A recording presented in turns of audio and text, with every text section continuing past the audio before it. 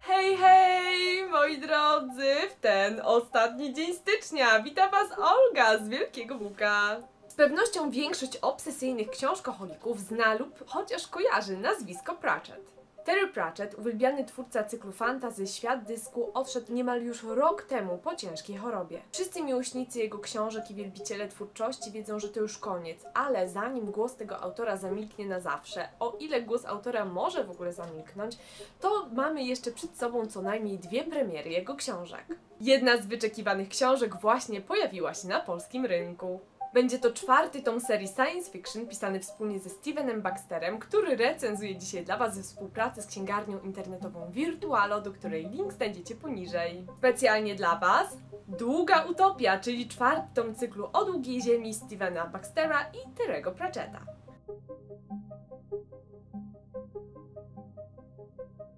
Jako, że jest to czwarty tom cyklu, a nie chciałabym nikomu niczego spoilerować niepotrzebnie, to przedstawię jedynie zarys fabuły. Długa Ziemia to najpewniej nieskończony ciąg alternatywnych światów. Nieskończona ilość bliźniaczych planet, tak podobnych do Ziemi, a do których można się przenieść jedynie robiąc krok w jedną albo w drugą stronę. Pozwala tego dokonać małe urządzenie zwane krokerem, które powstało na bazie ziemniaka, a które pozwala jednym klikiem przenieść się do równoległych ziem. Różnica? Na tych planetach nigdy nie pojawił się człowiek. I tak zaczyna się ten cykl, nową epoką pionierów długiej ziemi, gdzie wszystko jest możliwe i każdy może znaleźć miejsce dla siebie. Długa utopia zaczyna się w momencie zakończenia tomu trzeciego po serii różnorodnych konfliktów, po powstaniu nowej rasy ludzi i po częściowej zagładzie Ziemi. A do tego nadchodzi nowe zagrożenie z otchłani kosmosu.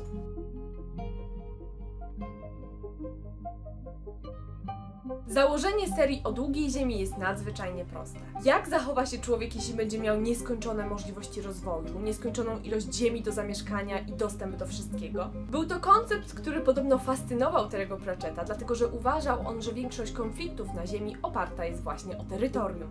A tutaj wszystkiego jest w brud i niczego nikomu nie brakuje. Dało to możliwość stworzenia nowego stylu życia, gdzie człowiek na nowo stał się nomadem, odkrywcą, kolonizatorem i zdobywcą nowych światów. A w tym wszystkim jest próba zdefiniowania, kim jest człowiek i jaka czeka go przyszłość w nieskończonych światach.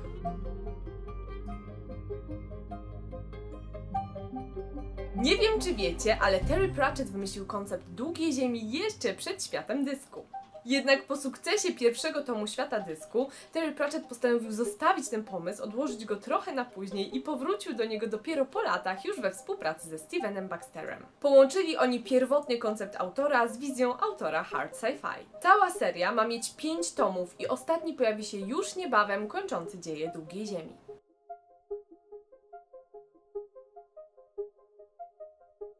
Teraz w ramach podsumowania mam dla Was trzy powody, dla których warto pożeć, warto wyruszyć w podróż po długiej ziemi i uwierzyć w długą utopię Stevena Baxtera i Terego Pratchetta. Po pierwsze, długa ziemia. Nieskończona ilość planet takich jak nasza, rządzących się tymi samymi prawami albo nieco odmiennymi. Jest to naprawdę fascynujący koncept i daje nieskończone możliwości. Po drugie, Lobsang. To jeden z bohaterów cyklu, fragment oprogramowania komputerowego, sztuczna inteligencja, która zapragnęła zostać człowiekiem. Zafascynowany ludzkością być może stanie się jej jedyną nadzieją. Po trzecie, przyszłość ludzkości. Wydaje się, że nie może być już piękniej, że jest po prostu doskonale i idealnie, ale nic nie jest takie proste i utopia niestety na zawsze pozostanie jedynie utopią.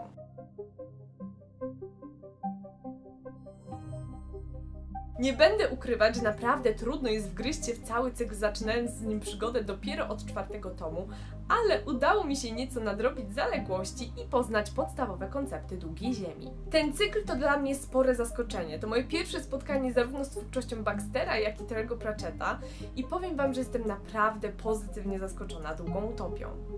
To podobno najbardziej nostalgiczna część tego cyklu i to naprawdę bardzo tutaj czuć. Coś się tutaj kończy, część bohaterów niestety odchodzi, a ten sen o życiu idealnym na miliardach światów zamienia się w koszmar. W tej części ograniczenia ograniczony jest dość mocno wgląd w samych bohaterów. Tutaj liczy się akcja, liczy się doświadczenie i możliwości. Polecam Wam rozpocząć przygodę z Długą Ziemią, bo to fascynująca opowieść science fiction. Długa utopia Terry'ego Pratchetta i Stevena Baxtera z pewnością ucieszy wszystkich tych, którzy czekali na czwarty tom serii, a ja, moi drodzy, cofnę się nieco i zacznę tę przygodę od początku, bo muszę poznać Długą Ziemię. A za Długą Utopię raz jeszcze dziękuję księgarni internetowej Virtual. I to wszystko na dziś! Pamiętajcie, że znajdziecie mnie też na Facebooku, na Twitterze, na Instagramie, na Snapchacie, na Lubimy Czytać i na Goodreads. I kochani, koniecznie pamiętajcie o blogu. A my, moi drodzy, widzimy się już jutro. Do zobaczenia! Pa, pa!